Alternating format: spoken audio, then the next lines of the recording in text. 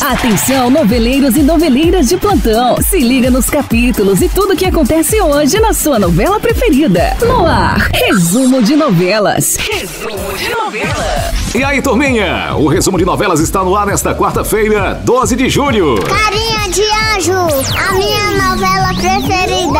No capítulo de hoje, Madre Superiora tenta aconselhar Cecília a permanecer exercendo sua função como freira. Porém, ela lhe esclarece os motivos que levaram a tomar essa decisão, falando sobre seu amor por Gustavo e revelando sobre os interesses de Verônica por ele. Flávia é alertado por Silvana a manter distância de Fátima, assim como ela também lhe conta sobre as possibilidades do irmão de Nicole assumir o Rei Café. Dulce aproveita sua festa de super-heróis, enquanto o irmão de Frida é barrado na porta ao acompanhá-la junto com Bárbara. Tudo isso e muito mais acontece hoje na novela Carinha de Anjo. Se ligue na telinha e não perca o capítulo de hoje da sua novela preferida. Resumo de novelas. Resumo de novelas.